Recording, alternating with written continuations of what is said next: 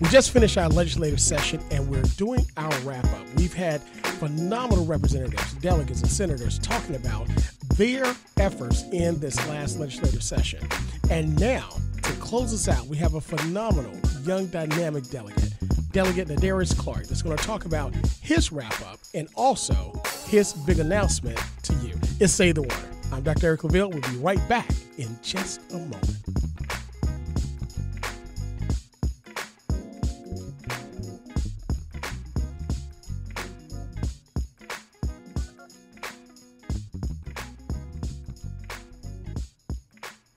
Welcome back. It's Stay the Water. I'm your host, Dr. Eric Claville. We're so happy to have you as always joining us on this Sunday, beautiful Sunday here in Hampton Roads as we broadcast always from the campus of the Norfolk State University, home of the Spartan Nation, from WNSB Hot 91, the soul of VA, the baddest radio station in town. Having we have with us always in the studio our producer who keeps us right and tight uh, on the radio, Marvin Folks, also known as DJ Scandalous, which you can hear every day, Monday through Friday from 2 to 6 p.m. on Saturdays. And yes, the hardest working man in radio, he's here in studio with us right now. You know, for those of you that have been listening to the show, you know that we do the legislative series every January and February here in the Commonwealth of Virginia. And then in March, we do our wrap up session where we bring back uh, policymakers and we bring them back to talk about their efforts in the legislative session, their their successes, their failures, uh, or lessons learned, I like to say, uh, and then also what's on the horizon. So to wrap us up, we have with us one of the most dynamic young representatives in the Virginia legislature, none other than Nadarius Clark, delegate for the 79th district here in the Commonwealth and also here in Hampton Roads. Delegate Clark, how are you today? I'm doing good. Thanks for having me back on the show. It's uh, definitely good to be back up here. And thank you for the uh, kind introduction. I really appreciate it. well, listen, I, I only speak the truth on, this show because uh, it's too hard to make this stuff up. You know, um, I'm up there in the halls, you know, doing the session, uh, representing the university, and, you know, I see legislators in action. And when I say you're one of the most dynamic young legislators up there, I, I really mean that. Things that you're doing for your community, uh, for your district. You came in with a purpose, targeted, and uh, you're doing it. You're doing it. so definitely the people on the 79th are lucky to have you. Now, I will say this. I'm just going to throw this out there. I know I said it before. You know, we we do welcome, we support all HBCUs, so we do welcome a Virginia Union graduate uh, on the show. thank you, thank you. Absolutely. I love all my HBCUs. Absolutely. And listen, thank you for your support of of Norfolk State and uh, the other HBCUs uh, for our bills that we have. You know, you're one of the definitely one of the big supporters, and we definitely appreciate all that you have done. So we're going to get right into it. You know, one thing about this show, I like to bring movers, shakers, policymakers to discuss issues important to the community, and w- one of the most important issues is what took place in the legislative session. You know, if you could give us your uh, assessment uh, of, in time in the session itself? Yes, well, my office was, was really busy this session. It was the, the short session uh, this this year, so it was only 45 days. Uh, but we were able, uh, some of the things my office did, we were able to bring 200 students from Hampton Roads, from different uh, high schools, middle schools, and elementary schools, up to the Capitol to get the experience, to witness session in person, to get a tour of the Capitol, and ask questions and interact. So we was uh, definitely happy that we could do that, and we also sent over 2,000 uh, honor roll letters out to students um, in the 79th district and in Hampton Roads that made uh, honor roll this year. So we made sure that we uh, one thing we wanted to emphasize this year is uplifting the youth and making sure they're getting an experience. Um, uh, some and definitely an experience that I didn't get the chance to get when I was in high school or growing up. So definitely uh, good to be able to do that. But this year was definitely defending the line uh, when it comes to legislation and the priorities. But we also had some things that we were trying to add to uh, to to pro- progress from. And um, some of those was uh, mental health this year. We know mental health in uh, Virginia and in America has been a huge concern. And I had legislation this year around that to make uh, in Virginia mental health professionals uh, would create a loan repayment program. So that way, uh, if you work in in Virginia after five years as a mental health professional, your VA loan, state uh, education loans, will be forgiven. Well, well, uh, but that well, well, very, very quickly, Delegate Clark. I, I, I, want you to go into the legislation in just a moment, but I want to I want to just go back just just for a second, and really talk about the impact of what you did for the youth. You you mentioned, I mean, you're like I said, you're one of the youngest delegates in the um, in the legislature. You're 28, and you know, you said that you didn't get that chance to go up to the Capitol and see what was going on, and those letters that you sent out. You know, what were some of the um, reactions that you got from the students that had a chance to like see this huge, huge place, right? And be like, I could actually go in there. right. Yeah, the, the reactions have been incredible. Uh, every uh, child that have come up there and every young person that came up there, they have been uh, they they loved it. They're very in, interactive. They have great questions. They're prepared. Uh, I actually just uh, when I checked my mailbox the other day, I had about 50 postcards from uh, uh, students from Granby that was uh, writing letters, uh, thanking uh, and saying how much they appreciated the trip. Even a few of them said that they're interested in getting involved in, in politics and legislation. And see their, and see a future for themselves in it. So it was it was definitely a great response from it. Wow, and you know you talk about those letters that you sent out for honor roll you know, I now listen. I I work in I work in government relations. Been involved over two decades, and I remember when my sons got those letters in, in the mail from their uh, legislators, it was like it was like getting a letter from like the president, right? you, you, know, I mean the you, the the very nice emblem, the uh, the symbol that's on it, your signature. Um, you know what what does that mean for you when you send those letters out? You know, to those students, especially in your district. It just means to me that it shows. Uh, I know a lot of times, even in Chesapeake, when I go back to the uh, high schools, middle schools to visit, they tell me like, you know, this helped push, keep them pushing. That someone um, is is is seeing you know their achievements and and and uh, giving them an accolade for it. Because sometimes every family doesn't have that same support system. Mm-hmm. So getting these letters sometimes make a difference to to uh, different students that comes from different backgrounds. Um, so, uh, and I personally sign each one of them uh, by hand. Mm-hmm. Uh, so I take it, you know, very personal to uh, to write these letters and and uh, send these out uh, throughout the district. Absolutely, and you know, when you say you sign them personally, I mean, I that that's something that a lot of people don't do. You know, but like I said, for you to actually put pen to paper, look at every name that's going out. I mean, I'm pretty sure that means a tremendous amount, you know, to everyone that that receives it. Um, when you talked about the legislative session and what the to- basically defending the line, um, talk, you know, in the last few years, we've talked about the achievements and the gains of of the Democratic side of the controlled legislature and also the House, um, the actual executive House, where so many things, especially voting rights, were expanded and protections around it. So many great things to help the people on the ground.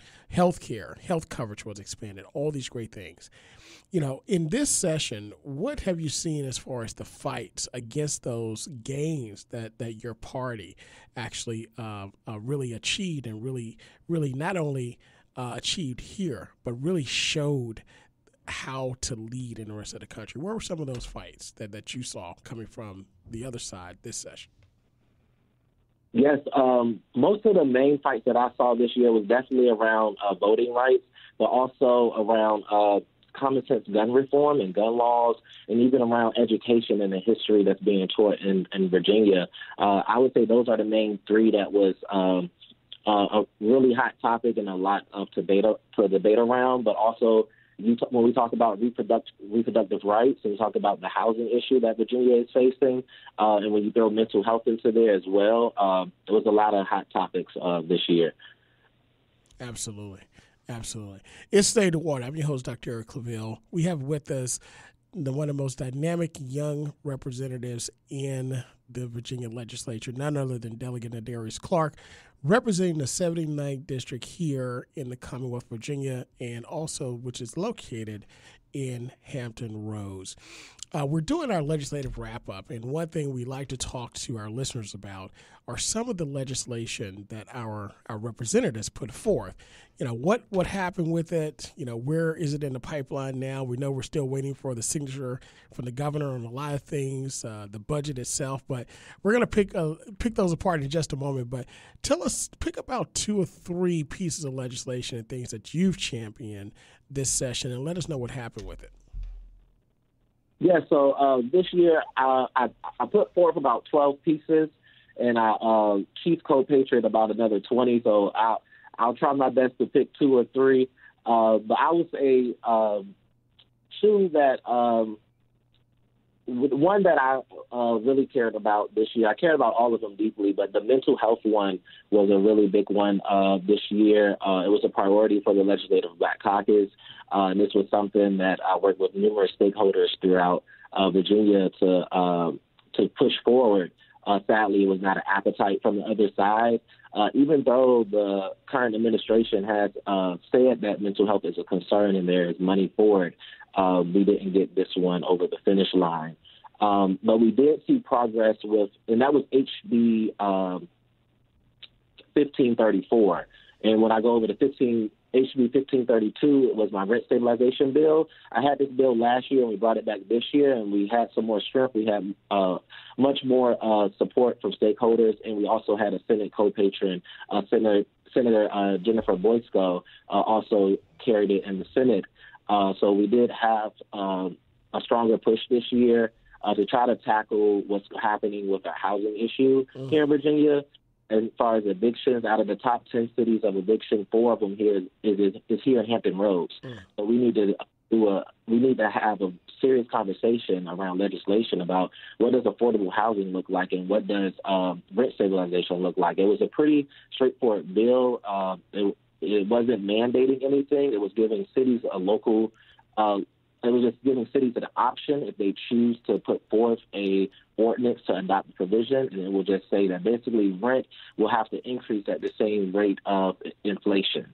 Um, and so and it will have also some stipulations that wouldn't hurt new developments. It will have a five year gap to make sure uh, new developments can still get attracted, come to the areas.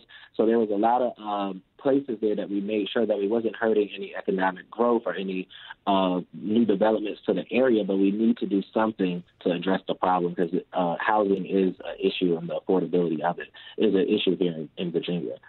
Um, but one of the things that we did get over the finish line was a bill, uh, HB uh, 2082, and that uh, it has made its way to the uh, governor now. Uh, and that was a Virginia Ran- Virginia Residents Landlord and Tenant Act. So that one is to now um, make sure that all employees uh, that has access to keys to your apartment have a background check uh, to ensure safety. Because sometimes um, there was a incident actually in Northern Virginia where someone was killed because someone had access to her apartment, mm. and we want to make sure they're keeping everyone protected by making sure that basic background checks happen to anyone that has, uh, you know, rental unit uh, keys to getting access to to people's apartments. Right. You know, I want to. You know, those are those are some extremely, extremely important initiatives and bills that went forward. What actually happened to the housing portion and also that that that last one with uh, criminal background checks?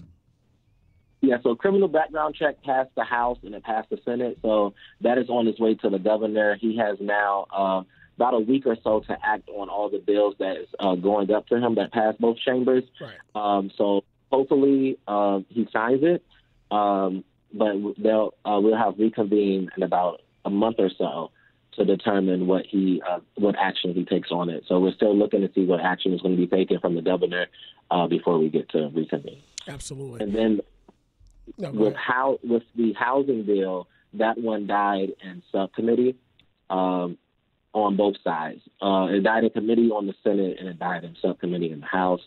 Um, and the mental health one also. Uh, it made it out of committee and it went to appropriations and it died in appropriations. Oh wow! You know, it's amazing to me when you have those great ideas that really should benefit everybody, and what what you just presented benefits everybody, right?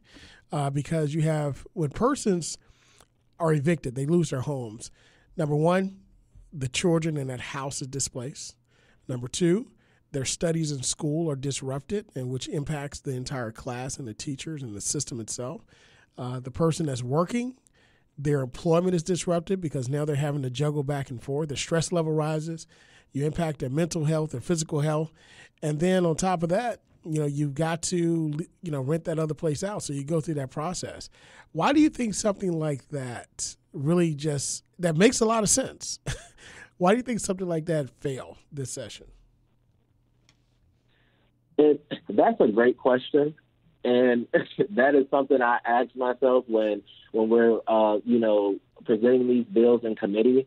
And half the time, you know, there's not a straightforward uh, uh, reason. Sometimes bills are laid on the table, so they're technically they're not uh, PBI, which is passed by indefinitely. Mm-hmm. So it's a nicer way of killing the bill. Um, but a lot of times there's not a clear explanation for why these bills are killed.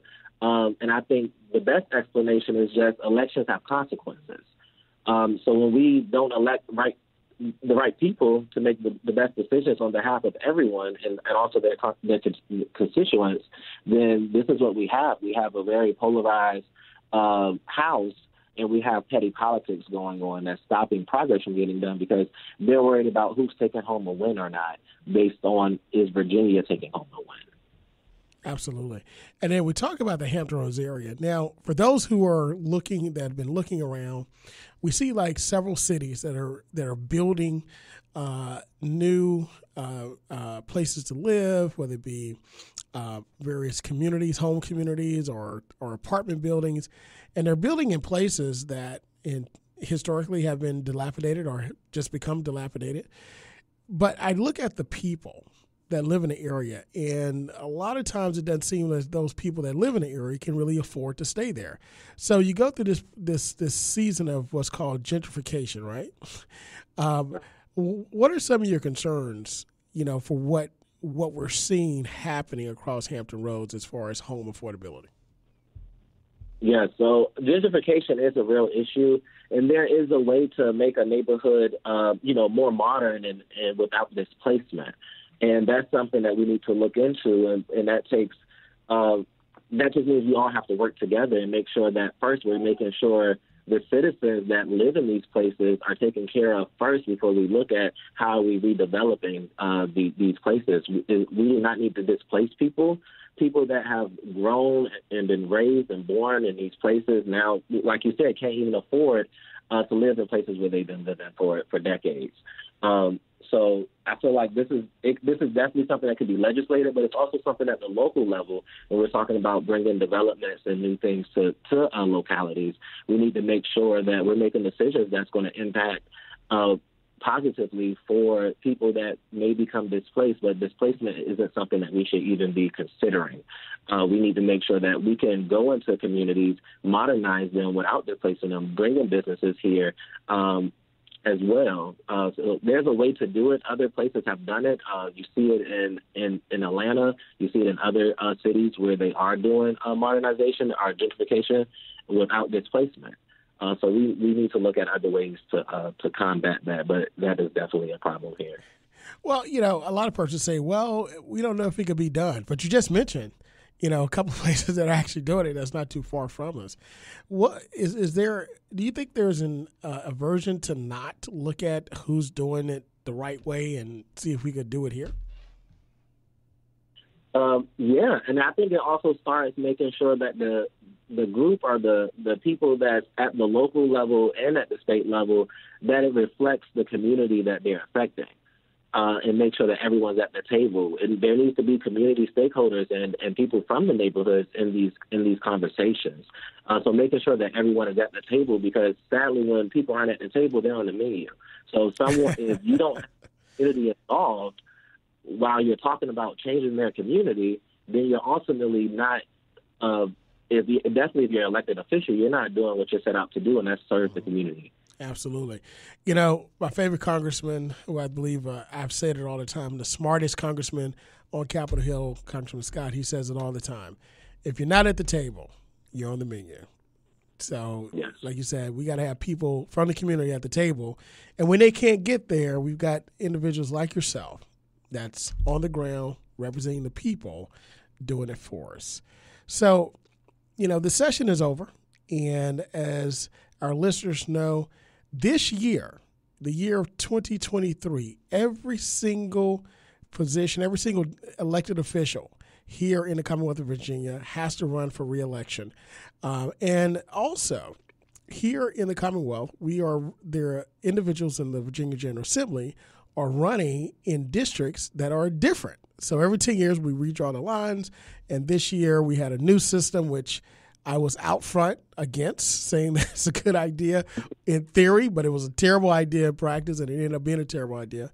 Uh, but we've got new districts uh, that our legislators are representing and going to have to be uh, going to have to run in. So we're going to do a whole education series, and we're going to be out in the community talking about this to make sure people understand who they're voting for this time around and so forth.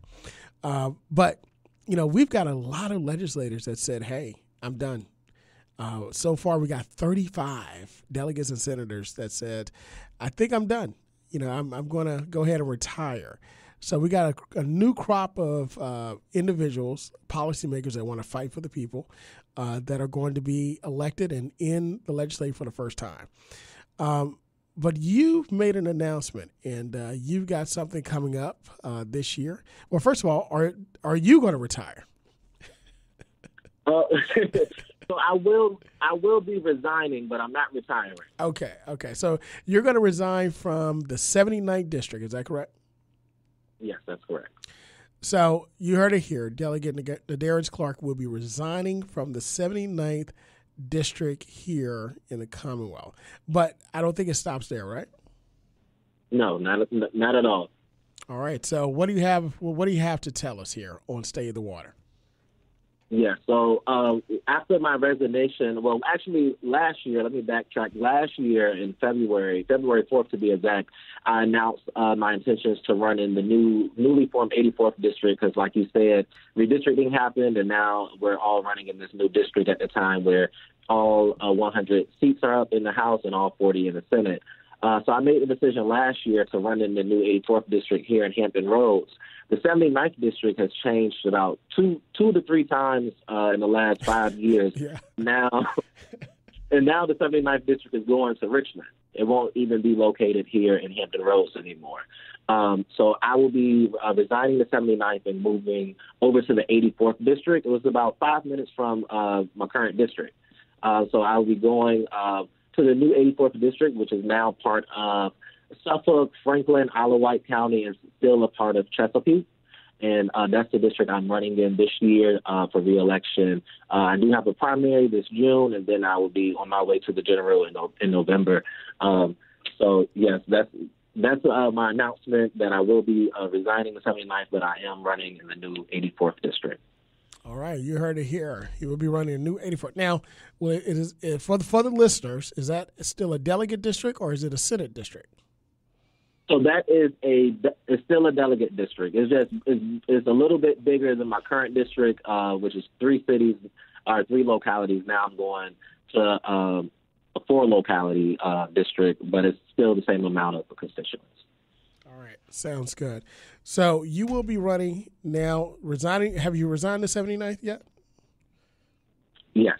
Okay, so he's resigned the 79th and will be running in the new 84th. 84th. So you got a you got a much larger geographical area, uh, and it's a lot of ground to cover. Uh, with the energy that you have, and I see you with the energy in the General Assembly, I know that you're you're definitely up for the task. Um, if individuals want to get involved, want to support, how can they do that? Yes, definitely. They can definitely get involved by going on my website, clarkfordelegate.com. They can click the events tab. and let them know everything that we have going on. Or you can also follow me on Twitter, Facebook, Instagram, TikTok at uh, Clark for Delegate or Nadarius Clark VA. Um, but also, I just want to um, make sure I let you know the importance of winning the 84th district. The 84th district is now the, one of the most competitive districts in the state. Mm-hmm. Um, so we're looking at all hands on deck. Uh, the current 79th district is a plus 10 district. Uh, we're talking about BPI, but now we're going over to the, the 84th, which is a plus two. Um, so a plus two district is much more competitive. Um, and we already see attacks coming from Republicans. We already see ads coming from Republicans uh, against myself because they know how important the 84th district is, uh, and we need to take back the House. And we cannot uh, take back the House majority without hold on, holding to, holding on to the 84th. You know, when you talk about the importance, you, you mentioned elections have consequences. The importance of voting. Um, if you could, I mean, tell us, tell our listeners just just how important this upcoming election is, and what's what's really at stake from not just your district and representing the people, but also the leadership in the House and the Senate. Yes, definitely. It's so much at stake this year, and I know uh, people probably get tired of of everyone saying every year we you know we get up there and say this year is the most important year. But every year is important, and this year is going to be so crucial because the the entire legislative body is changing. And like you said, 35 new, new members are minimum is going to be coming to the to the legislature, and that's going to be about a record, I believe, uh, that Virginia hasn't seen, and if so, it has been you know about over 100 years. Um, so this is going to be crucial to how, uh, like you said, leadership is is going to going to look how committees are going to ha- have uh, new leadership. Um, but there's also going to be so much new rec- uh, representation, which I'm excited for uh, to see the change in the, in the legislature. Uh, you know, right now, being the youngest member, uh, being 27 years old, the average age in the House is about 60. Um, so that's the average, by the way. that's the average. yeah. So seeing more diversity and, and seeing uh, because diversity and having making sure all voices are at the table when we're debating and when we're putting forth uh, legislation only helps us better Virginia. It makes it, it makes it makes us uh, more well-rounded and make sure that we can have a fair debate when we're talking about issues that affects all of us. To make sure that everyone is there uh, you know, to speak on behalf of, of their of their districts. So I'm definitely excited to see the uh, the change in the legislation, and I'm excited for all the new candidates. I heard this year is uh, a record-breaking year for uh, black candidates running for uh, the state house and state senate. So definitely excited uh, for that as well to see uh, potential growth in the Virginia Legislative Black Caucus. Um, and I plan to be a part of that growth. So I'll I'll be gone for a few months out of the legislature, but come June, um, I'll be right back, um, you know, swinging, but I'm not going anywhere. We're still putting in work in the 84th district now. We uh, just opened our office here in the 84th district on West Washington Street in downtown Suffolk. We're having kickoffs this weekend, uh, Saturday and Sunday, uh, but you can find that on, on the website as well. Absolutely.